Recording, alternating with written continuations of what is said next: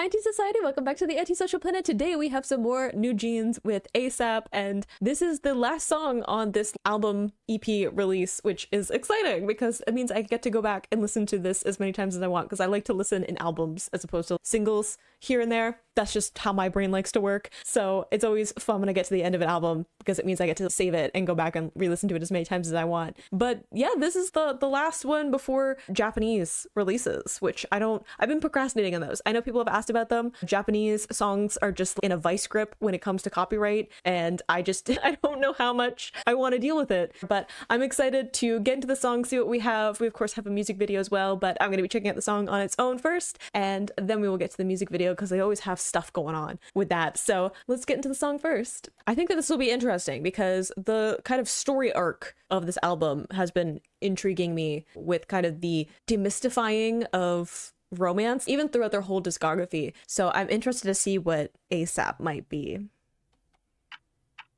Ooh. Hi, it's me again, I'm back. Let's talk ASAP. You have the time? Let's talk ASAP, baby. Hurry up, don't be lazy. ASAP, baby. Hurry up, don't say.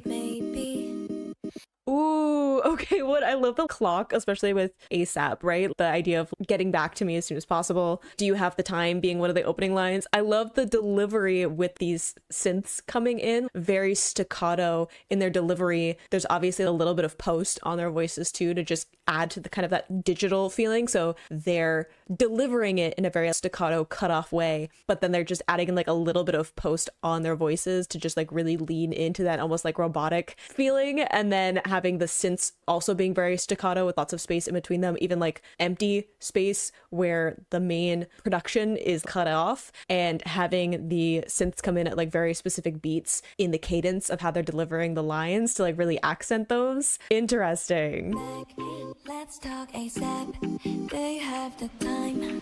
Let's talk ASAP, baby.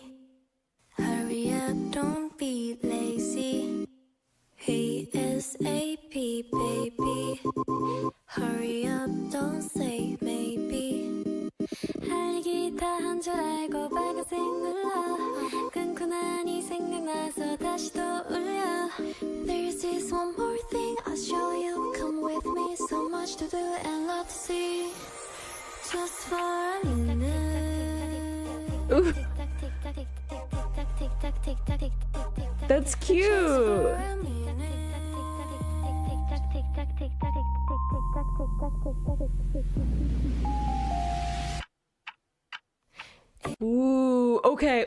I like that we're getting two voices at the same time. I also really like that they have a very breathy delivery in a lot of this too, because we have a lot of staccato elements that are very hard cutoffs at certain points with like the synths and stuff. These moments of silence, space in between different elements, even in just terms of them spelling out ASAP instead of saying that is a word, they're spelling out the actual individual letters. So there's something very cut off in that. And then having their breathy delivery softening out some of those edges. It's a nice contrast. I think it also adds to the fact that there's almost this little bit embarrassment of calling back, right? Like saying, hey, I thought I said everything. And then I hung up and immediately remembered that I had something else to say and I had to call you back right away. I'm like, sorry. There's this little bit of embarrassment that they're like asking for more time, just a minute, and requesting just a little bit, just for a second. If you could just get back to me, I just have a little something I want to say, right? Having that breathier delivery, I think just softens their voices a bit more. It has more of that like youthful, shy feeling to it, which I think is like a nice callback to Super Shy, right? it's like the beginning of this album. So you have this full circle, but a more pulled back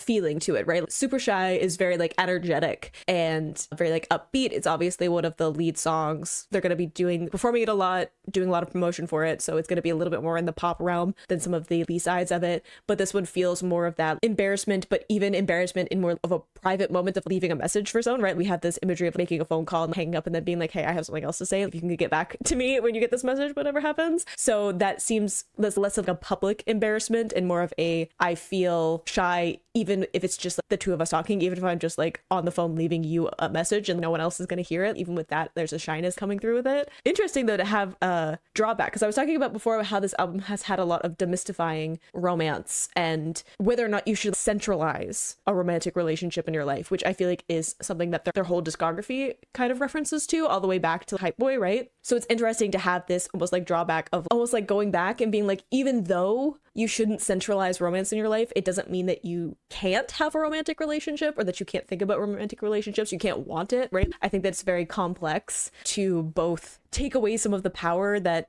I think media gives being in a romantic relationship, especially from what I understand of Korean culture. It is like a much bigger thing in South Korea than it is for me in the West. So it's one thing to deconstruct that and understand that your importance or your value or validating yourself through having a romantic relationship because of the way that media and music depicts that is not something that you should be doing. It's not something that you should be centralizing in your life, but also wanting that. If you aren't a romantic, then chances are you are going to want a romantic relationship of some kind in your life, whether or not it is serious relationships or just wanting to experience what that's like, right? Like all the members here are very young. They may just want to know even basic what a romantic relationship is like. They probably aren't looking for something that is long term or anything like that, but fantasizing about it, having crushes, having feelings for someone, going on dates, anything like that isn't anything super serious, but you still want to experience that and have that be part of your life, whilst understanding how do you separate how media depicts that from who you are as a person, and your own individuality and your own worth and stuff like that. So, did I ramble there and have any coherent thought? I don't know. I don't know.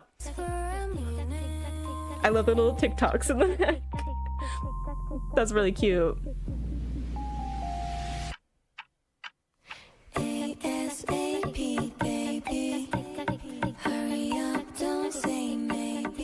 I love that the two sides of the mixing. ASAP, baby. Hurry up, don't say maybe. Ooh, fun. With the production coming in.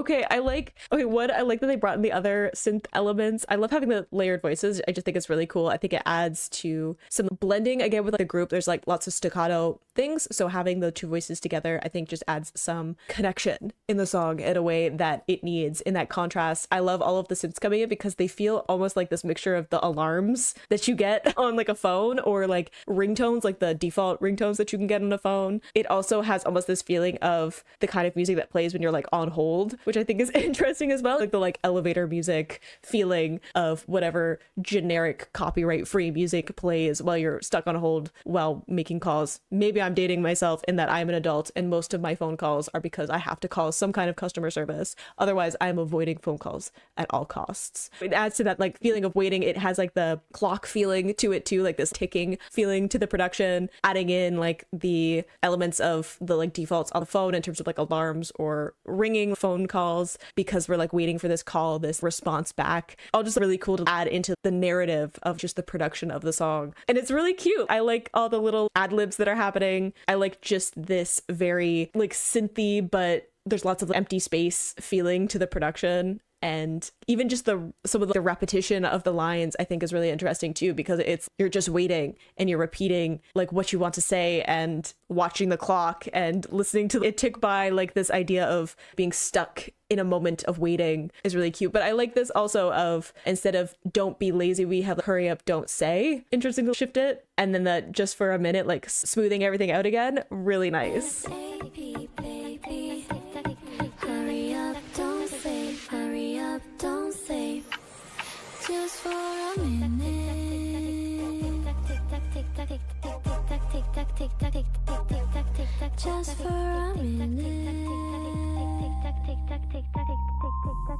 Ooh, that like filter.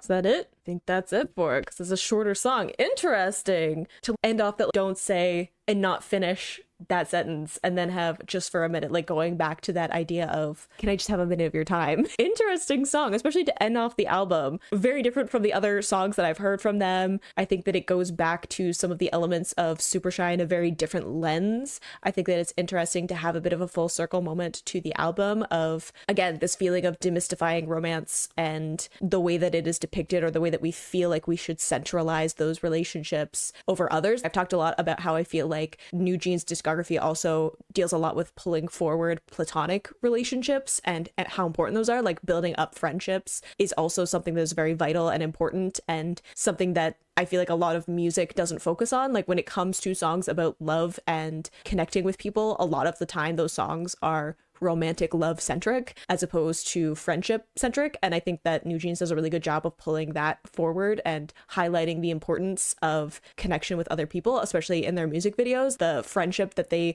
depict between each other in their music videos, I think is really important. So interesting to have that kind of battling within them of yes, friendships are important. Yes, it's important to build like real world relationships as opposed to parasocial relationships. They've also touched on that a lot too. But at the same time, there's this feeling of even with the Ditto music videos, a lot of that was how do you demystify parasocial relationships? How do you understand and deconstruct how we build parasocial relationships? And when does it become unhealthy? When does it become too reliant on that parasocial relationship? But even at the end of those MVs, having the fan come back to them and still have that nostalgia or that comfort for this group. It's okay to like groups, like musicians, to like specific pieces of media, and to build a healthy parasocial relationship and to have that comfort and connection with those pieces of media, it's only when it shifts into too much reliance on those pieces of media that it becomes unhealthy and it becomes something that needs to be like pulled back, especially if the line between this is like a persona I have agreed to being an audience member of a performance when it shifts into ideas of reality, right? We have to understand that the image of New Jeans that we have as fans is a performance, is a persona, is a curated image of what they are willing to share with us. And that is fine. They are allowed to have their private lives and they definitely should. We don't actually know that. We don't actually have a relationship with them. There are lots of things about them that we are not privy to, and that is totally fine. We should not have that information. And there should be a clear boundary between us and the performers. But when that boundary starts to blur and you stop being able to see that you don't actually have a connection with them, that's when things become an issue, right? But that doesn't mean that you can't come back to that media and you can't continue to find comfort in it. So again, this kind of like circular moment and it feels a little bit like that here of yes, we're demystifying romantic relationships, decentralizing them from our lives and deconstructing how media depicts them and whether or not they should be as important as they are, whilst also understanding that romantic relationships aren't inherently bad and there is a healthy way to have romantic relationships or to even just enjoy crushes, enjoy getting to know someone and being very,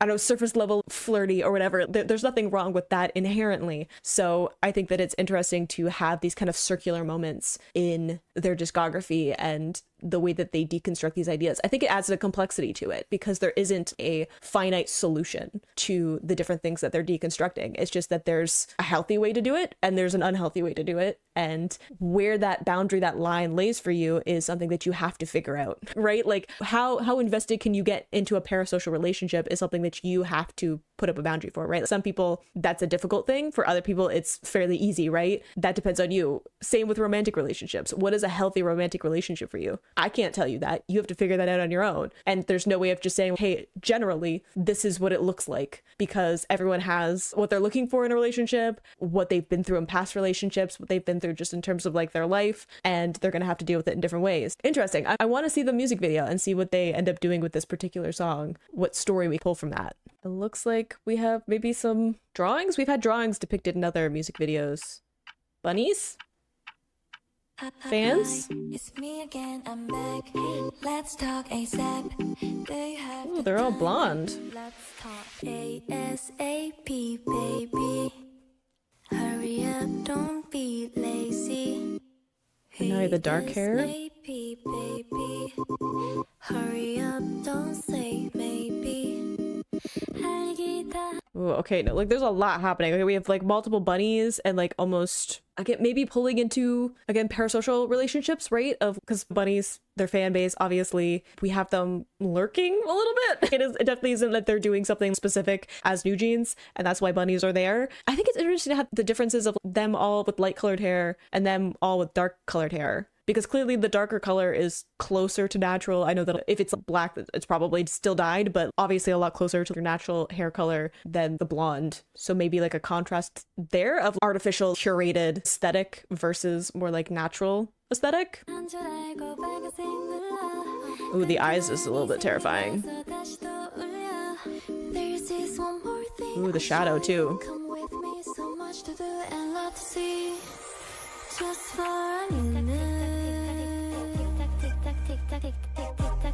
minute. Just for a minute.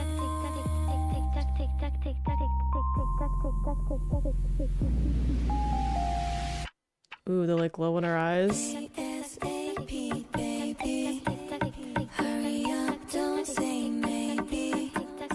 Okay, interesting like contrast like it's happening a lot in like night too, which I think is interesting with the like night vision. So it's not the normal time when you would depict a music video. Like a music video is usually in daylight, lit, these forested areas or these like inside areas. I also was thinking with when they have all the light color, it's like the same styling and it's almost like they're supposed to be almost like clones of each other. Like they're supposed to all look very much like each other as opposed to when they have the darker hair color where there's more individuality coming through. Again, that might be like a curated image versus a more natural image. It may also when there was a couple of scenes where they have the darker hair color and they had the binocular and the spyglass. I think that's interesting because we have almost bunnies watching them, and then we have this when they have the light color, and then we have this flip of them maybe watching back. Again, parasocial relationships, where we talk about how, yes, we tend to focus in parasocial relationships of fans' relationships with the idols or the musicians, but New Jeans has also touched on like how they feel about interacting with fans too, and like the parasocial relationship that goes like both ways of how an a, um idol or a musician also has certain things that they rely on, like fans for, right? Like the support, the almost like added layer of validation for the things that they're making, you know, the outpouring of like love and support that comes from having a fan base and wanting to connect with them and knowing that the things that you're making are bringing them comfort and happiness, right? There is a back and forth between that relationship. So maybe some of that's coming into it too. Oh! Hurry up, don't say maybe. The editing is trippy though with all the like overlays and stuff.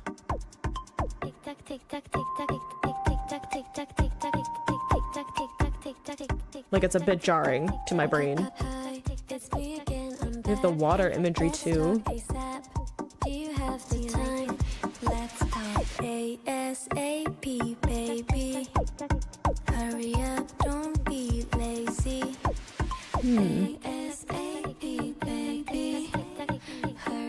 Have like the elven ears too.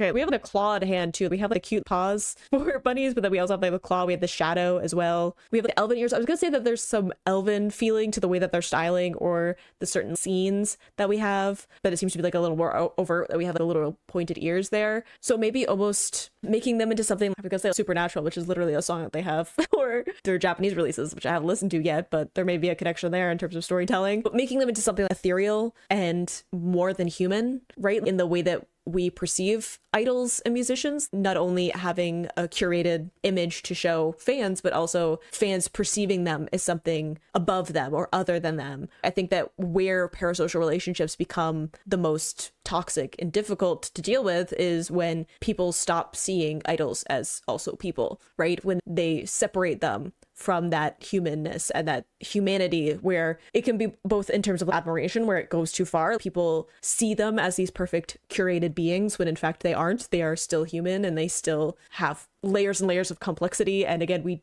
we don't actually see all of who they are, which is the way that it should be. And because of that, we don't get to see all of the flaws and we don't get to see all of the moments of struggle and we don't see every layer of who they are. And because of that, we only see what they want us to see. And if you see that as like that curated image as reality, you can end up like admiring them too much, right? Like we use the word idol to describe them. So that has its own like complexities into it. So like it could bring in some of that as well. I don't know if I had a coherent thought there. I feel like I'm rambling a lot in this video and I'm just like, I hope when I'm editing this that I'm like, yeah, there was a full thought there. Interesting the mirrors too. We have water, mirrors, reflection. We have some more light in certain images too.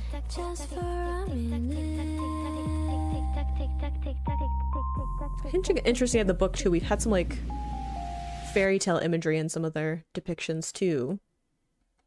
Interesting. Right, like we've had some which music video was it where they had the depictions of the different stories? Was it OMG? Maybe it was farther back. There's definitely a music video where they have some fairy tale imagery mixed into it, which I talked about. Fairy tales are at least there's a curated version of that, right? The ones that you probably grew up with, the versions of the fairy tales that, and then there's the Grimm fairy tales version, which are very different. So the contrast of those, I think it's really interesting that they have these jarring images of like scary imagery in this, right? Like the eyes watching, the hand, the almost like clawed hand.